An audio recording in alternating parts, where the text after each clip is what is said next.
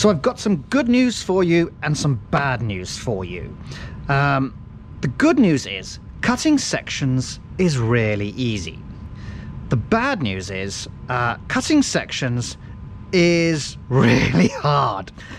It requires you to be um, quite dexterous and, to be honest, a skilled histologist makes it look like the easiest thing in the world. When you actually have a go yourself, it is remarkably difficult. So, how is it done? I don't want that one. You take up your block, place your block into the chuck, and that is now secure. What I will do then is take a handbrake off the unit, and that will enable me to now move the chuck up and down. And I will advance the blade and the block together until I start getting a few curls of tissue. Then I will just grab one of those, says he, and you start to pull off thin sections. Now, each one of these sections, remember, is only four microns in thickness, so it's thinner than a hair on your head. The slightest breeze generally causes them to blow all over the place. You pick them up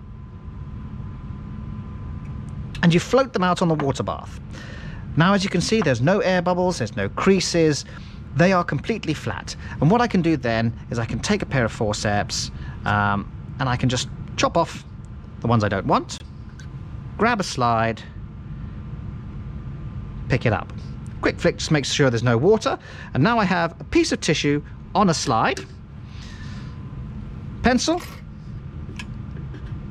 and label up.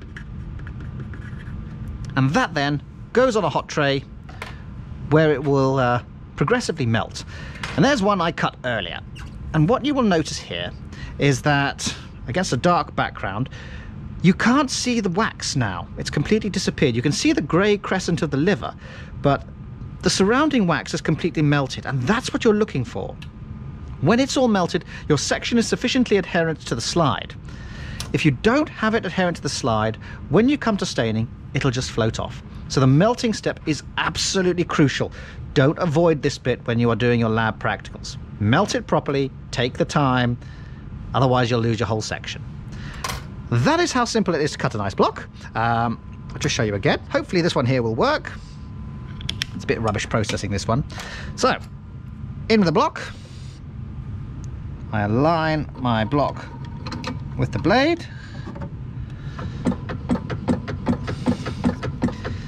And then you get some debris and you just pull it off. So this one here is not very well processed, but or you're not actually getting anything, but it serves just to show you the technique. And you float stuff out. And that is how you cut a section.